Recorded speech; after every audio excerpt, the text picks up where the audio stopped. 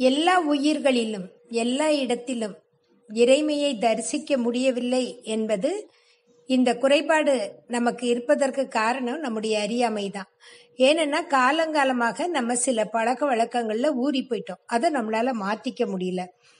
அததான் பகவான் சொல்றாரு மனித இனத்தை பிளவுபடுத்தக்கூடிய பிரிவுபடுத்தக்கூடிய வேறுபடுத்தக்கூடிய இந்த பாரபட்சமுள்ள எந்த வழிபாடும் எந்த மதங்களும் எந்த கொள்கைகளும் கொள்கையும் பேருண்மையை மறைப்பதற்கு முயலும் ஒரு மார்க்கமே.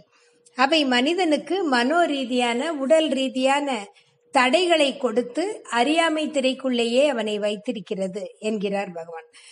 பின்பற்றி வந்த நம்முடைய கொள்கைகள் நம்மளை அப்படியே ஒரு அறியாமைக்குள்ளேயே வச்சிருக்கு. அதை தாண்டி நம்மளால வெளியே வர முடியல. அடுத்ததாக சொல்கிறார் the pride of exclusive knowledge is also a limitation and barrier ஞானம் பெற்றுவிட்டோம் என்ற பெருமையும் அகந்தையும் கூட தடையாக அமைந்துவிடும். அதனால ஞானம் அடைஞ்சிட்டோம்னு கூட நினைக்க கூடாது. ஏனெனில் ஞானம் அடைந்தவனை விட சாதாரண ஒரு பக்திக்கு பின்னால் இறைமை அர்- இறைமையின் வெளிப்பாடு நிகழலாம் அப்படின்னு சொல்றாரு.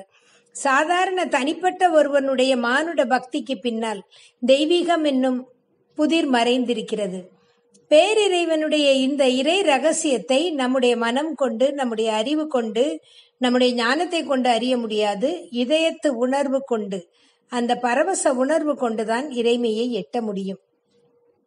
மேலும் அந்த உள்ளே இருக்கும் அந்த ஆத்மா இறைவனது புல்லாங்குழல் இசையால் ஈர்க்கப்பட்டு தன்னை மறந்து லயிப்பது வந்த அன்பின் மூலமாகத்தான் பக்தியின் மூலமாக அதனால ஞானம் இல்லை பக்தினால இவங்க எப்படி பெரிய நிலையை எட்ட முடியும் அப்படின்னு நம்ம நினைக்க கூடாது என்கிறார் பகவான்.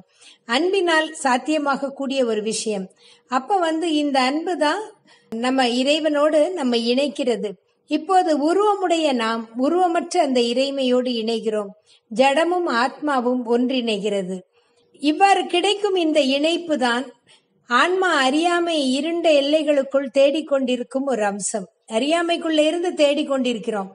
இது எப்படி கிடைக்கும்னா அன்பினால் பக்தியினால் கிடைக்கக்கூடிய ஒரு தெய்வீக இணைப்பு இந்த பக்தியால் கிடைக்கக்கூடியது. மானுடனின் தனிப்பட்ட அன்பு மாறி தெய்வீக அன்பாக இந்த பிரபஞ்சத்தில் மலரும் போது அவனுக்கு அந்த இறைமையோடு அந்த இணைப்பு சாத்தியமாகிறது. ஆக அன்பை பற்றி பக்தியை பற்றி தான் பகவான் இங்கு சொல்லி கொண்டு வருகிறார்.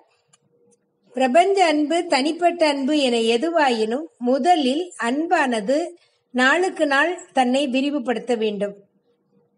அன்பு தன்னை விரிவுபடுத்தி கொண்டே இருக்கணும். மனித நேயம் நல்லெண்ணம் தயாள குணம் இரக்கம் கருணை எல்லா உயிர்களிடத்திலும் பொருட்களிடத்திலும் பொருட்களிடத்திலும் கூட பகவான் சொல்றார். அன்பான ஈர்ப்பு போன்ற நற்பண்புகள் வளரும்போது மனிதன் அகந்தையிலிருந்து விடுபட துவங்குகிறான். இப்படி மொத்தமா கேட்கும்போது நமக்கு புரியாம இருக்கும். அதனால ஒவ்வொரு வார்த்தையும் கரெக்டா நம்முடைய நம் நம் நம்முடைய உடமையான பொருட்களை நாம் எப்படி அன்போட கையாளுறோம்? என்ன என்னுடைய பொருள் என்னுடைய உடைமை எப்படி என்று கையாள்கிறோமோ அது மாதிரி பொதுவாக உலக உயிர்களிடத்தும் உலக பொருள்களிடத்தும் அன்பான ஈர்ப்பு இதெல்லாம் நமக்குள்ள வளரும் போது இந்த அகந்தையிலிருந்து நம்ம விடுபடுறோம். எப்படி ஈகோவெல்லாம் ரிமூவ் பண்றதுன்னா அன்பை வளர்த்து கொள்ளும் போது ஈகோ ரிமூவ் ஆகுது. Adoration fulfilled in love love in Ananda. போற்றுதல் வழிபாடு என்பது பேரன்பில் பூர்த்தியாகிறது. பேரன்பு பேர் ஆனந்தமாக மலர்கிறது. ஆக பக்தி மார்க்கத்தின் முடிவில் பரவசத்தால் சூழப்பட்ட பேரானந்த அம்சம் நமக்காக காத்திருக்கிறது. பக்தி மார்க்கத்துல அப்படியே நம்ம நாளுக்கு நாள் உயரும் போது நாமே பேரானந்த அம்சமாக மாறிவிடுகிறோம். எல்லா உயிர்களிடத்தும் அன்பும் அனைத்தும் ஆனந்தம் என்ற நிலை வரும்போது ஒவ்வொரு திரையாக விலகி இறைமையை நாம் தரிசிக்க துவங்குகிறோம். ஆத்மார்க்கமாக எல்லா வடிவங்களிலும் பேரழகு சொரூபமான இறைமையை நாம் கண்டு கழித்து முன்னேறுகிறோம். இறை வெளிப்பாட்டில் ஊடுருவியுள்ள பிரபஞ்ச ஆனந்தம் நமக்குள்ளும் ஊடுருவுகிறது. ஆனந்தம் எங்க இருக்கு? சச்சிதானந்த அம்சமாக இருக்கும் பேரிறைவன் எல்லாத்துக்குள்ளேயும் ஊடுருவி இருக்காரு அதே மாதிரி நமக்குள்ளேயும் அந்த ஆனந்தம் ஊடுருவுகிறது. ஆக இந்த பிரபஞ்சமளாவிய அன்பு தான் திருவுரு மாற்றத்துக்கு மிகவும் இன்றியமையாத ஒரு விஷயம். மிகவும் முக்கியமான விஷயம்னா எதுன்னா பிரபஞ்சமளாவிய அன்பு. The universal love is liberative and dynamic for transformation என்கிறார் பகவான். Page number one sixty one இந்த பிரபஞ்சமளாவிய அன்பு தான் நம்முடைய டிரான்ஸ்ஃபர்மேஷனுக்கு ரொம்ப முக்கியமானது. புறத்தோற்றங்களும் வடிவங்களும் மாறுபட்டு இருந்த போதும் அவை நம் இதயத்து உணர்வுகளை பாதிப்பதில்லை. ஏனெனில் அவை யாவும் இறைவனின் அம்சங்களே என்ற உண்மை நமக்கு புரிந்துவிடும். புறத்தோற்றத்துல நமக்கு ஒத்து வராத மாதிரி இருக்கும். நமக்கு முரண்பட்டது மாதிரி இருக்கும். ஆனா அவையெல்லாம் மாறுபட்ட தோற்றங்களில் குறை ஏற்றத்தாழ்வு இருக்கிற மாதிரி இருக்கும். ஆனா எல்லாமே இறைமைங்கிறது உள்ளுக்குள்ள எப்போ உணர ஆரம்பிப்போம்னா இந்த அன்பு நமக்குள்ள விரிவடையும் போது. ஆக தன்னலமற்ற சேவை உள்ளம் கொண்ட ஒருவனது பாரபட்சமற்ற ஆன்மாவானது அதாவது இம்பார்ஷியல் இம்பார்ஷியலா இருக்கணும். அந்த ஆன்மாவானது இறை அன்பால் ஸ்பரிசிக்கப்பட்டு திருவுருமாறி அனைத்தையும் உள்ளடக்கிய பரவசமாக கோடிக்கணக்கான மாந்தரை தன் வசம் ஈர்க்கக்கூடிய ஒரு உள்ளார்ந்த அதிர்வு மாற்றமாக மாறுகிறது.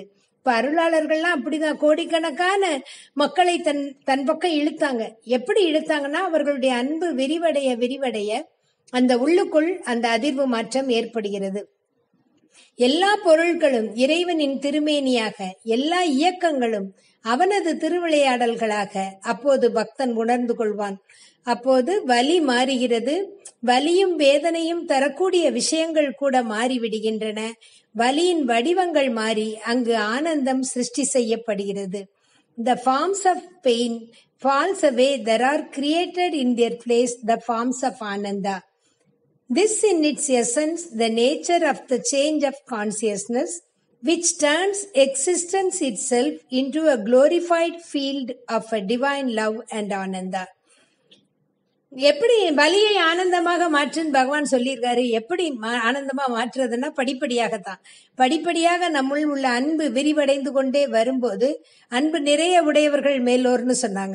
மேலோர் ஆனந்த பரவசத்தில் உள்ள மேலோர்கள்லாம் எப்படி? அன்பு நிறைய உடையவர்கள். சோ அந்த அன்பு விரிவடைஞ்சிட்டே இருக்கு வரும்போது இந்த எது எது வலியாக உணர்ந்தோமோ அந்த விஷயங்கள் எல்லாம் ஆனந்தமாக மாறுகின்றன. ஆக இது வந்து எப்படி நிகழ்கிறது என்றால் அந்த சேஞ்ச் ஆஃப் கான்சியஸ்னஸ் தான். அந்த உணர்வு மாற்றம் தான். உண வாழ்வை மகத்தான தெய்வீக அன்பும் ஆனந்தமும் நிறைந்த இறை வாழ்வாக மாற்றுகிறது. மனிதன் தனது சாதாரண நிலையில் இருந்து ஆன்மீக தேடல் உடையவனாக மாறும்போதுதான் இந்த மாற்றம் துவங்குகிறது. வாழ்வு அம்சங்களை இதயத்தின் புதிய உணர்வோடு அணுகும் போது அன்பார்ந்த உணர்வோடு வாழ்வு அம்சங்களை பார்க்கும்போது ஒளி பொருந்திய பார்வையும் உணர்வும் உலகத்தின் மீதும் மக்களின் மீதும் ஏற்படும் போது இந்த மாற்றம் வளர்கிறது. It reaches its height when the spiritual becomes also the supramental level and then also it is possible not only to feel it in essence but realised it dynamically as a power for the transformation of the whole inner life and the whole outer existence கொஞ்சம் கொஞ்சமாக மாறி ஆன்மீக ஒரு நிலையை உயர் நிலையை எட்டுகிறது. பின்பு அதிமன நிலையை எட்டுகிறது. அதிமன மாற்றத்தை பெறுகிறது. அந்த அதிமன மாற்றத்தை பெறும்போது அதாவது சுப்ரமெண்டல் லெவல் பெறும்போது அது வந்து இதை ஃபீல் பண்றது மட்டும் இல்ல அது நம்முடைய உள்முக வாழ்வையும் புற வாழ்வையும் உள் அக வாழ்வையும் சேர்த்து ஒருங்கே திருவுருமாற்றுகிறது. திருவுருமாற்றி ஒரு உயர்ந்த தெய்வீக வாழ்வை நமக்கு அளிக்கிறது. எங்க இருக்குன்னா இந்த உணர்வு மாற்றத்தில் தான் இருக்கு. அன்பை நாளும் நாளும் நமக்குள் விரிவுபடுத்தி கொண்டே வருவோம்.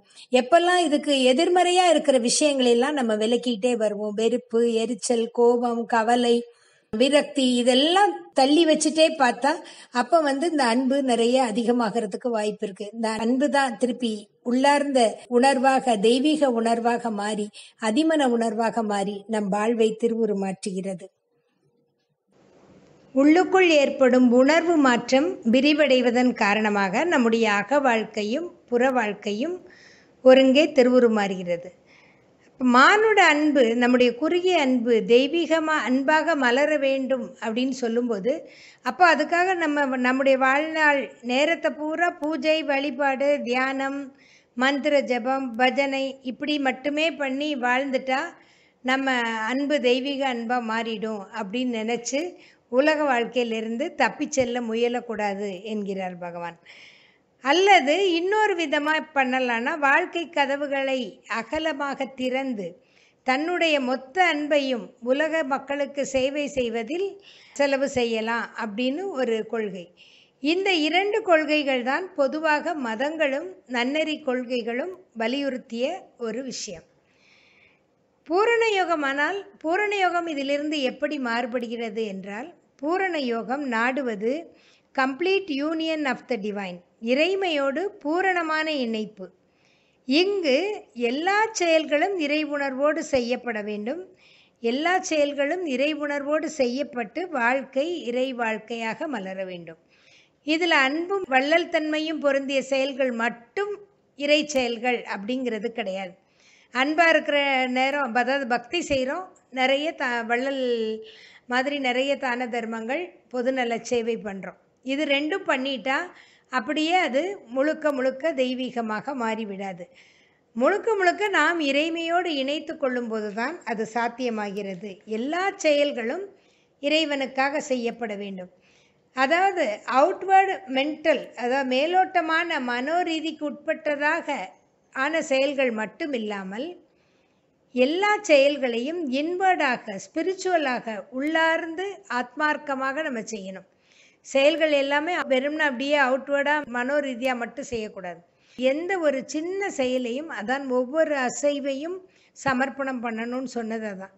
இப்படி ஒரு கால் எடுத்து வைக்கிறோம் கை எடுத்து வரும் ஒரு பேசுகிறோம் திரும்புகிறோம் ஒவ்வொரு அசைவையும் உள்ளுக்குள் சமர்ப்பணம் பண்ணி அது ஆத்மார்க்கமாக செய்யப்பட வேண்டும்.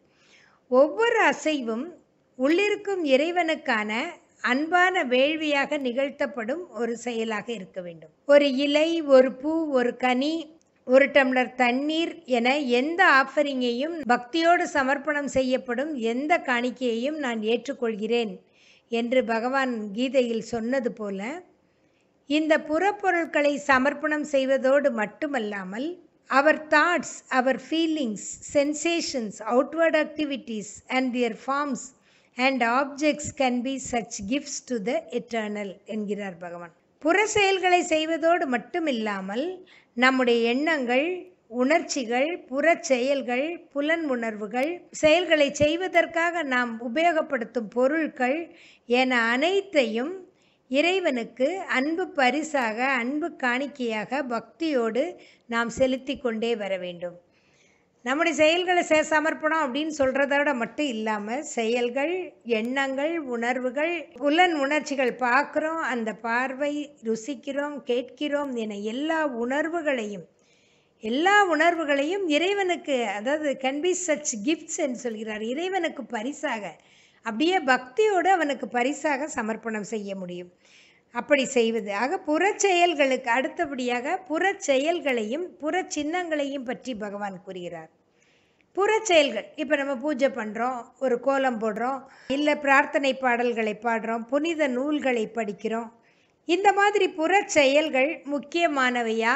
இல்லை அகம் சார்ந்த தியானம் மட்டும் முக்கியமா? அப்படிங்கிற ஒரு கேள்விக்கும் பகவான் இங்கு பதில் சொல்கிறார். புறச்செயல்களுக்கென்று முக்கியத்துவம் உண்டு.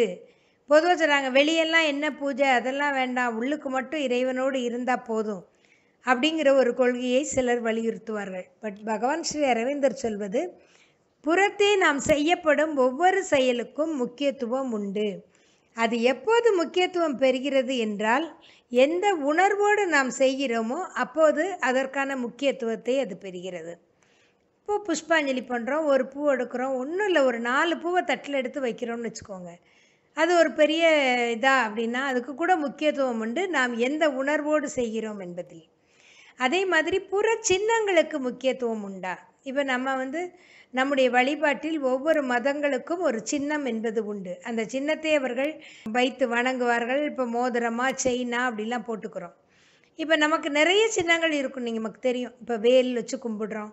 சிலுவையை வச்சு கும்பிடுறோம். அன்னை சிம்பல் பகவான் சிம்பல் என்று எத்தனையோ இந்த சின்னங்களை வழிபடும் பழக்கம் நமக்கு உண்டு. திருவாசகத்திலே ஒரு வார்த்தை வரும். சின்னங்கள் கேட்டால் சிவனென்றே வாய் திறப்பார்னு. அதாவது சின்னங்கள் அந்த மணி ஓசை பூஜை பண்ணுகிற ஓசையெல்லாம் கேட்கும்போது அங்கே பூஜை நடக்கு அப்படின்னு சொல்லி சிவசிவான்னு சொல்லுவாங்களாம். அது மாதிரி சின்னங்கள் எப்படி இருக்க வேண்டும் என்றால் அவை வந்து சும்மா வெளியில் வழிபட உதவும் ஒரு டூல்ஸ் மாதிரி இல்லாமல் உண்மையிலேயே இறைமையோடு நம்மை ஒன்றுபடுத்தக்கூடிய அளவுக்கு அந்த சின்னத்தை நாம் உணர்வோடு பார்க்க கற்றுக்கொள்ள வேண்டும் அப்படின்னு சொல்கிறார் பகவான்.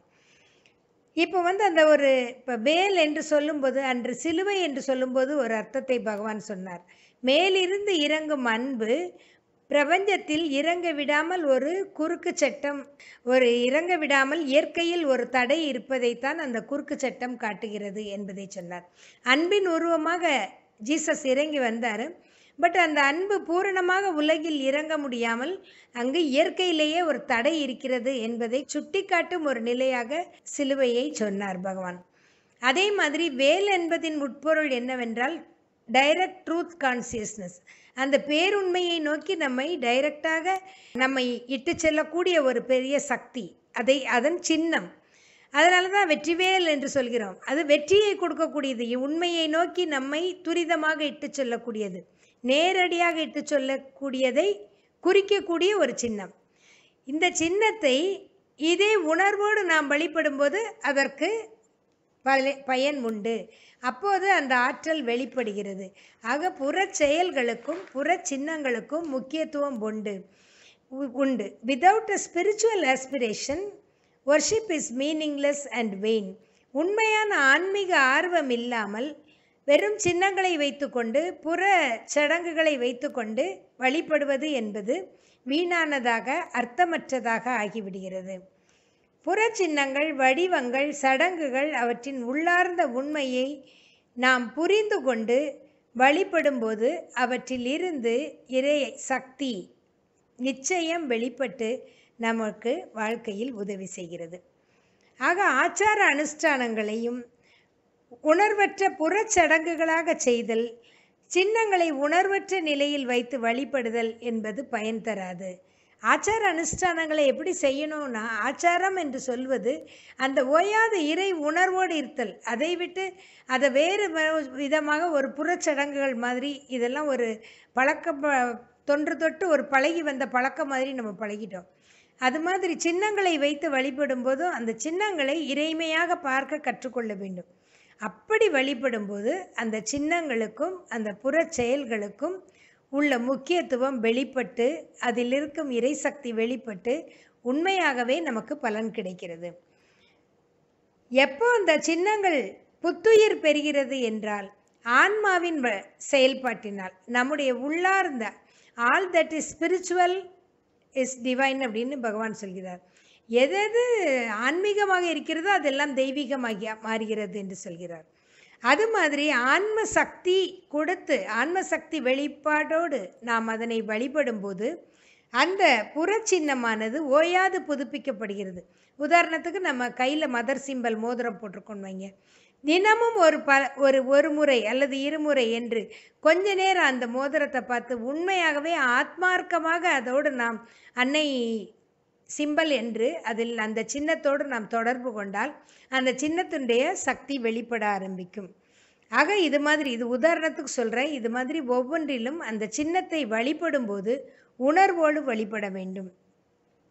ஒவ்வொரு செயலையும் இவ்வாறு சாதகன் ஆத்மசக்தி உள்ளிருக்கும் ஆத்ம சக்தி வெளிப்படும் நிலையில் உணர்வோடு வழிபட கற்றுக்கொண்டால் ஒவ்வொரு செயல்களும் அதன் உள்ளார்ந்த சாராம்சத்தை வெளிப்படுத்தி சிறப்புறும்படி நிகழ்த்தினால் அவனுக்கு இறைமையோடு தொடர்பு கொள்வது என்பது மிக வெகு எளிதாக அமைகிறது. அப்போ வந்து நாம் பொது புறச் செயல்கள் என்னென்ன செயல்களெல்லாம் செய்து இறைமையை வழிபடுகிறோமோ புறத்தே நாம் நிகழ்த்தும் பூஜைகள் சடங்குகள் ஆகியவையும் புற சின்னங்களும் எல்லாமே நாம் உணர்வோடு வழிபடும்போது உணர்வோடு இறைமையை நெருங்கும்போது அந்த சின்னங்களும் அந்த புறச் செயல்களும் முக்கியத்துவம் பெறுகிறது என்கிறார் பகவான்.